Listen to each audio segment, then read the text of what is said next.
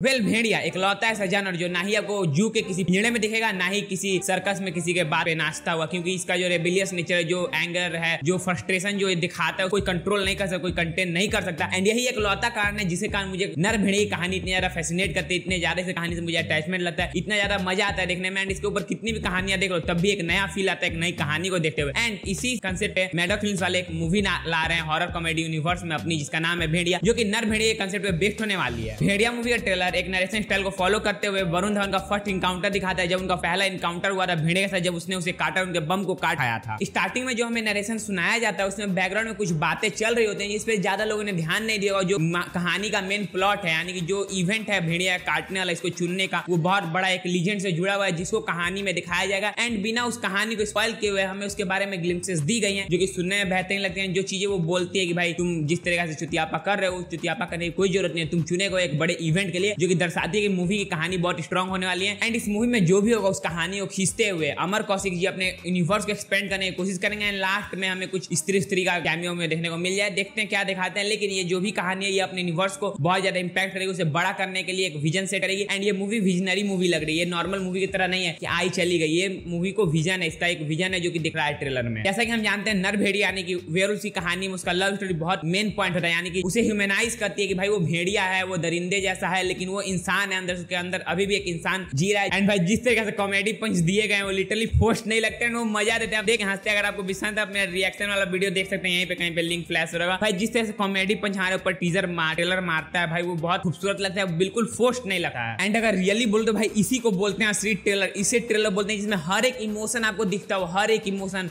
Laughter हो fun हो comedy हो एक्शन हो एडवेंचर हो थ्रिल हो, जो कुछ हो लीजेंड हो, भूत हो हर सारे इमोशन डरना, रोना, हंसना रोना, सारी चीज़ें इमोशन आपको दिखती है ट्रेलर में, जो कि कंप्लीट बनाते हैं ट्रेलर को, बिना कहानी को स्पॉइल किए। हाँ लिटरली ये ऐसा ट्रेलर है बॉलीवुड का, जो कहानी को बिल्कुल भी स्पॉइल नहीं करता। अगर आप कैजुअली ट्रेलर देखते हैं तो कहानी रत्ती भर भी आपकी स्पॉइल नहीं होगी, जो कि बहुत अच्छा चीज़ लगा मुझे। अभी जितने भी ट्रेलर आ रहे हैं, वो बॉलीवुड के हॉलीवुड के मार्बल को, किसी के भी वो कहानी स्पॉइल करते हैं। हाँ अभी वकांडा फॉर का छोड़ के कहानी स्पॉइल नहीं हुई उसमें। बाकी जितने भी ट्रेलर आ रहे हैं बॉलीवुड में स्पेशली जितने ट्रेलर आते हैं, उसमें कहानी स्पॉइल हो जाती है। लिटरली आपको कहानी पता रहता है क्या होने वाला है। जस्ट आपको पर्दे पे देखने के लिए जा रहे हो। लेकिन ये ऐसा ट्रेलर जिसमें कहानी बिल्कुल स्पॉइल नहीं होती, जिसको देख के मैं बहुत ज़्यादा इंप्रेस्ड हुआ। इसके साथ जो एक्टर्स की एक्टिंग है, उसमें बिल्कुल भी कमी नहीं दिखती है। जो वीएफएक्स है, जो स्टोरी टेलिंग जिस तरह स्टोरी को दिखाया जाता है डार्क टोन बेस्ड कहानी को दिखाया जाता है, वो बिल्कुल प्योर करे। है जो भास्कर की चड्डी भाई, वो भास्कर की चड्डी।